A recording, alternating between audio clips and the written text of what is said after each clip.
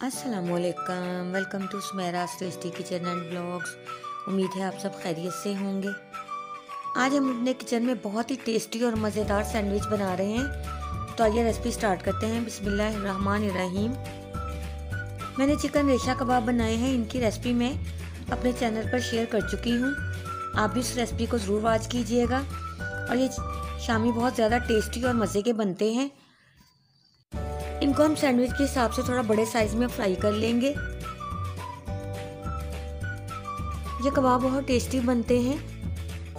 एक साइड से light golden brown हो जाए तो हम इनकी साइड चेंज कर लेंगे और दूसरी साइड से भी सेम कलर जब आ जाएगा तो हम इनको निकाल लेंगे।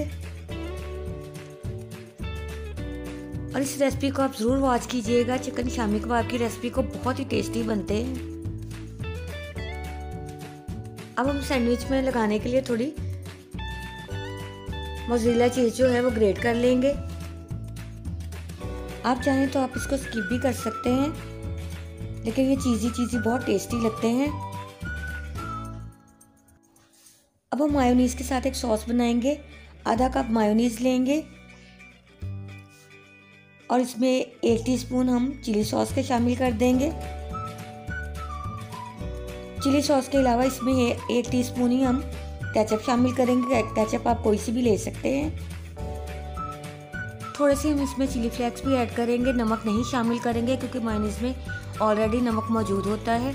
अब हम इसको अच्छी तरह मिक्स कर लेंगे। और ये हमारी बहुत ही अच्छी सॉस तैयार हो चुकी है। आप चाहें तो आप इसको एज ए डिप भी यूज़ कर सकते हैं। अब हम एक स्लाइस लेंगे और स्लाइस के ऊपर मायोनीस लगाएँगे। सिंपल मायोनीज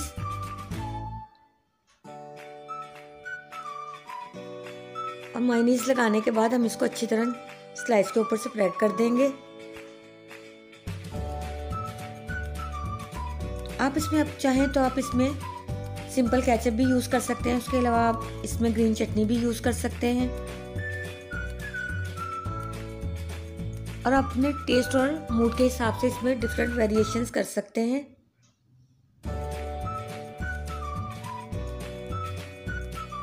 अब हम इसके ऊपर खीरे रखेंगे।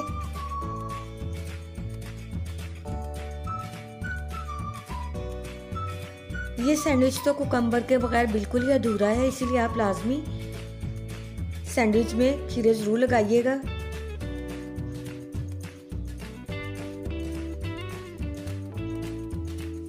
और ये हमने इसके ऊपर खीरे लगा दिए हैं, अब हम इसके ऊपर दूसरा स्लाइस रखेंगे। और इसके ऊपर जो हमने सॉस तैयार की है, वो स्प्रेड कर देंगे। ये सॉस ज़्यादा स्पाइसी नहीं बनती, अगर आपको ज़्यादा स्पाइसी पसंद है तो आप इसमें चिली फ्लेक्स जो है, वो थोड़े ज़्यादा डाल दें।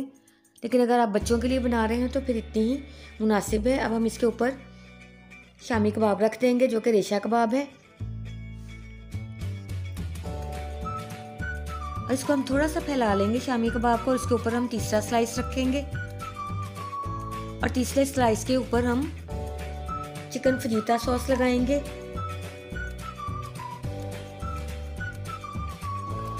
और चिकन फजीता स्प्रेड से भी बहुत ज़्यादा टेस्टी सैंडविच बनता है। आप चाहें तो आप इसको सिंपल भी बच्चों को लगाकर दे सकते हैं।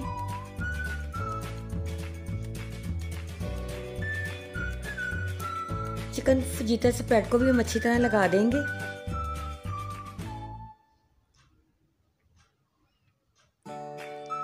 और इसके बाद हम इसके ऊपर टमाटर लगाएँगे।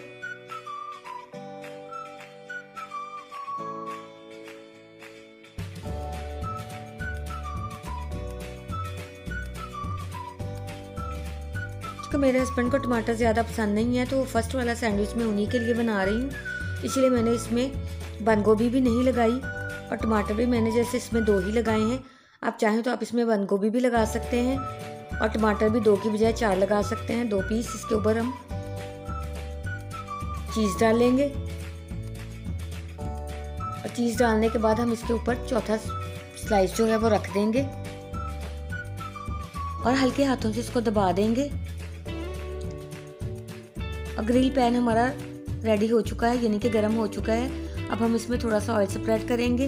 आप चाहें तो आप बटर भी यूज़ कर सकते हैं।